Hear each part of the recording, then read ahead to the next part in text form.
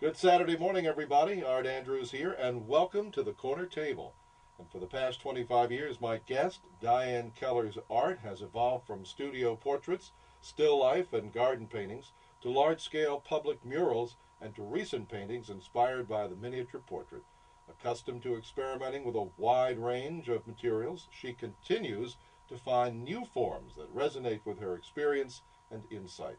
A respected educator, Ms. Keller has taught at the University of Pennsylvania, the Moore College of Art and Design, and the Pennsylvania Academy of Fine Arts, and we will talk with Diane Keller right after this. Diane Keller is in many corporate and private collections nationally, and her numerous public murals in Philadelphia are highly acclaimed. Recent clients include the Buyer School Foundation and Technitrol Incorporated. Diane works her work, I should say, is a process of ever growing layers of ideas, memories, and textures. Her versatility allows her to explore new directions and create work that is both uniquely personal and universal. Diane, welcome. And what I've been reading from is something that you can anybody can find on your website. Welcome to the show. Thank you, Art.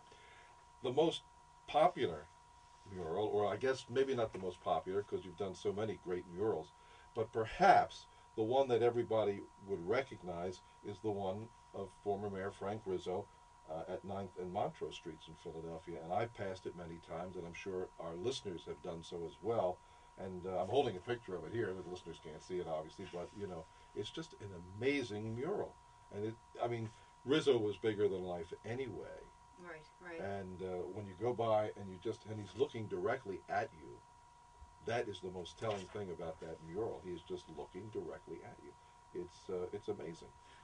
How did that come thank you. about? Uh, well, that was my first mural project uh, Really? with the then Anti Graffiti Network. And I have uh, been a portrait painter for most of my life. And Mhm. at the time, I was teaching at uh, Penn.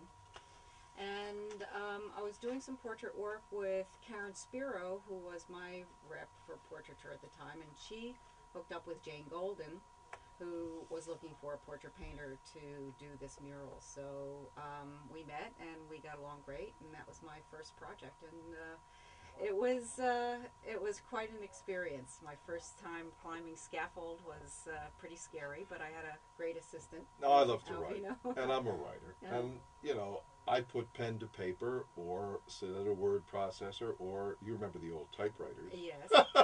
So that's not so difficult. How do you go about? And I, I, every time I'm looking at this constantly while we're doing the show, and it's just beautiful. He's. It looks like he's he's in front of a one of the stands at the Italian market, right.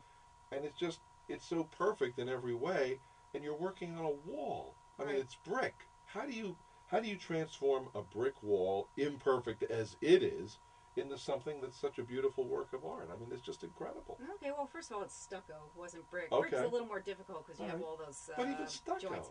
But uh, here's the process. You uh, work it up on a small scale. Okay. and um, we use uh, a grid method uh, where you uh, would grid out the small drawing, maybe one inch, and then maybe you would make it one inch to the foot on the wall.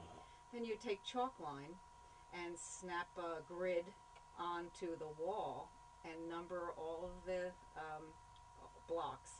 And then you transfer the drawing just by going from the one small square to the you know, one inch square to a one foot square. Um, then once you get the drawing on there, then it's um, you know, then it's just painting it in. Uh, but it is difficult, and that was my first project, and we did use scaffolding. Um, so what I had to do is every time I would uh, need to check and see what I was looking, what it actually You'd looked like at a distance, up. I'd have to go down off the scaffolding and across the street and back up and Mhm. over, and then make a little adjustment, and then go back down.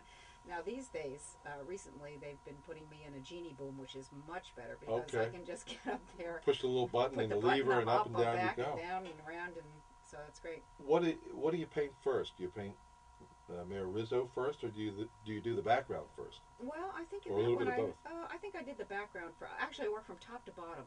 Okay.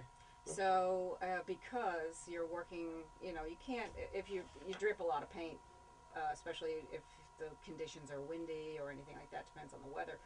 But um, you would drip the paint downwards, obviously. So you work from the top right on down. And when you have a scaffolding, you work from the top level, and then you go down to the next level, and you do the whole thing across that way. I mean, your expertise is just unbelievable.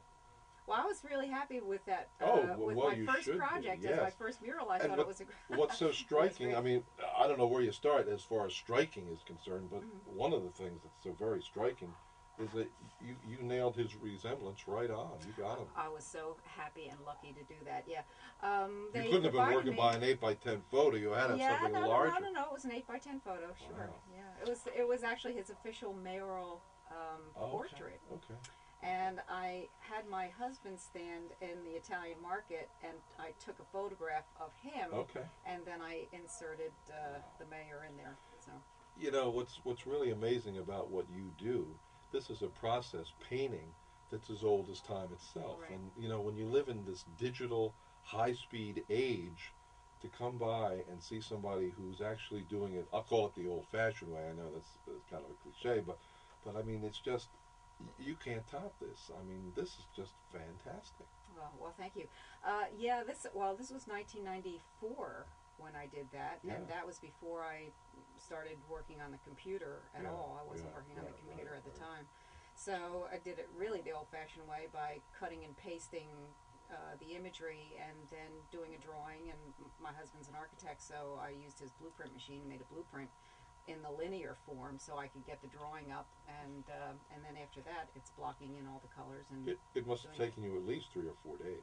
uh, at, at least. How long did it take? Well, let's see. I, you know, really crazy, crazily enough, I think we started in in the, the winter of Mhm. 2000. I mean, of um, 1994, and I ended up finishing in the spring of uh, 95. So there was some months I think that we took off, but a, a few, a couple of months. It was That's usually all? a couple of months. Yeah. And in the wintertime, that's I mean, it, I what don't know it? why we started in the What is it like to paint in the wintertime? Because Horrible. it, I was going to say it. it I mean, you can't do exterior Well, painting at home was- in the winter. Well, how do you, what kind of paint I? I was 14 use? years younger than I am now. Well, so I mean, know, and I was I uh, know, I kind know. of enthused about starting this new aspect of my career. Oh, I think that's right. and uh, so I went I went with it. But most of the projects that I do now are in the spring or the fall, or hopefully not the summer because the summer gets very hot. So also. everybody should at least, and many people have seen it numerous times. But if you haven't seen it, we're talking about the portrait on the stucco wall on a building at 9th and Montrose.